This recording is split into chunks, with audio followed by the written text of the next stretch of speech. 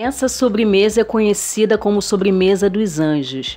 Ela fica incrível, com paçoca ao leite, fica uma delícia. Se vocês querem saber como que eu preparo ela, vem comigo. Para essa receitinha eu vou estar utilizando 9 paçoca, 2 cremes de leite, um leite condensado, meia xícara de leite em pó, uma gelatina sem sabor e vou estar tá utilizando essa margarina aqui já aquecida no fogo e dois leites de coco. Vou estar tá acrescentando as minhas paçocas no liquidificador. Essas paçocas que eu comprei, pessoal, ela é bem doce. Eu indico a vocês a estar tá comprando a paçoquita, que não é tão doce assim. O que, que eu vou estar tá fazendo para tirar um pouco do doce dela? Eu vou estar tá jogando ó, essa margarina já aquecida no fogo dentro delas. Aí eu vou pôr para bater no liquidificador para deixar elas um tipo uma massazinha. Mas se vocês comprarem a paçoquita, o processo é mais rápido. Vocês não precisam estar tá batendo no liquidificador. É só vocês amassar ela e colocar na travessa. Fica bem mais fácil, pessoal. Aí terminei de bater ela no liquidificador. Aí ela ficou assim, ó, tipo uma massazinha. O que, que eu vou estar tá fazendo? Eu vou estar tá acrescentando ela na minha travessa. Uma inscrita aqui do canal, ela pediu para me trazer uma sobremesa de paçoca. O nome dela é Daniela Soares. Beijo para você, Dani. Vocês também querem que eu traga outra sobremesa maravilhosa aqui pro canal? Me conta aqui embaixo, que eu gostaria muito de saber, viu?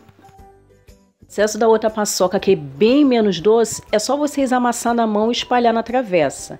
Essa, como eu fiz essa massinha, eu vou estar tá espalhando ela pela travessa toda. Com a mão fica melhor. Minha margarina, por ela conter sal, ela corta um pouquinho do doce dessa paçoca.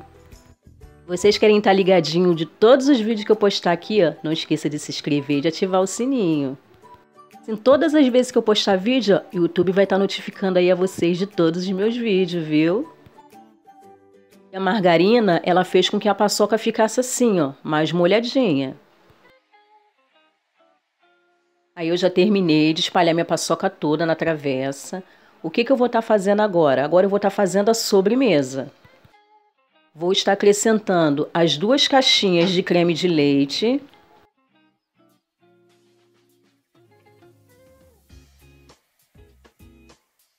Uma caixa de leite condensado. Acrescente dois leites de coco da marca da preferência de vocês. Meia xícara de leite em pó. Um sachê de gelatina sem sabor. A minha já foi hidratada, viu?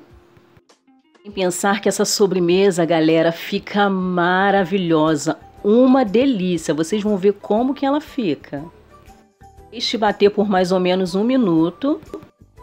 Agora eu vou estar acrescentando a minha sobremesa dentro da travessa.